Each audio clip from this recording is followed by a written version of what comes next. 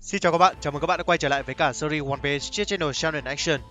Trong chương 1020, Yamato đã tiết lộ là hồi nhỏ do đói quá vô tình đã ăn trái ác quỷ Inu Inu no Mi, hình mẫu Okuchi no Makami.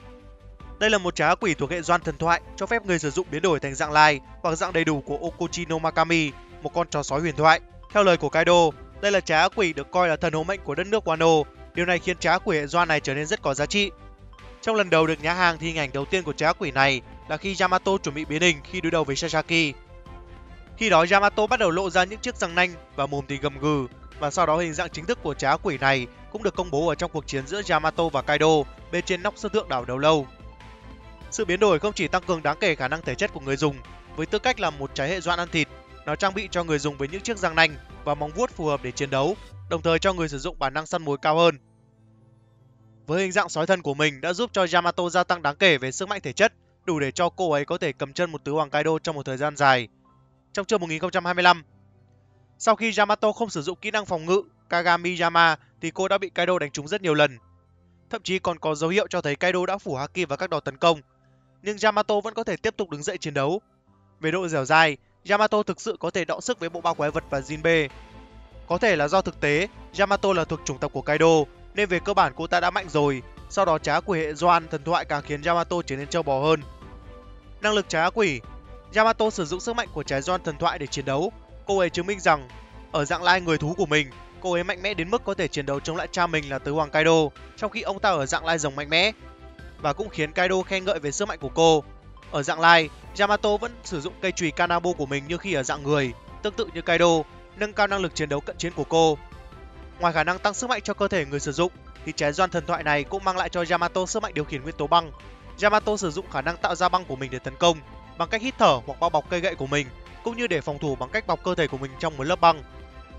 Kỹ năng của Yamato Namuji Hyuga Đây là một kỹ thuật mà Yamato ngửa đầu ra sau, hít thở sâu, rồi đột ngột thở ra về phía trước, một vụ nổ băng vào mục tiêu cô ta chọn.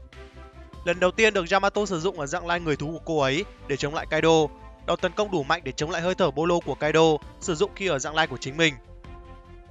Kỹ thuật phòng thủ của Yamato Kagami Yama Kagami Yama nghĩa đen là núi gương. Đây là một kỹ thuật phòng thủ mà Yamato dường như bao bọc toàn cơ thể của mình hoàn toàn trong băng, mà ban đầu chúng ta không thể phân biệt được với cơ thể cô ấy. Nếu Yamato bị tấn công bởi một cuộc tấn công kẻ thù, lớp phủ giống như áo giáp sẽ hấp thụ toàn bộ sát thương. Khi lớp giáp này nứt và vỡ ra như thủy tinh, khiến Yamato không bị hề hấn gì. Sức mạnh của kỹ thuật này như thế nào? Nếu Kagami Yama có thể chống lại lôi minh bắt quái, điều đó có nghĩa là kỹ thuật này là một trong những cách phòng thủ mạnh nhất trong One Piece. Bởi vì lôi minh bắt quái của Kaido có thể hạ gục Luffy bằng một đòn đánh trong lần đầu gặp mặt đầu tiên của Kaido với Luffy. Nếu Yamato luôn được Kagami Yama vây quanh, cô ta có thể bỏ qua các đòn tấn công tiếp tục của Kaido. Tuy nhiên, dường như có một giới hạn cho kỹ thuật phòng thủ này. Có một khoảnh khắc khi mà Yamato bị Kaido đánh nhiều lần và Yamato dường như kiệt sức nên không thể sử dụng kỹ thuật này nữa. Khi Yamato cố gắng đứng dậy lần cuối cùng, cô ấy đã trở lại hình dạng con người.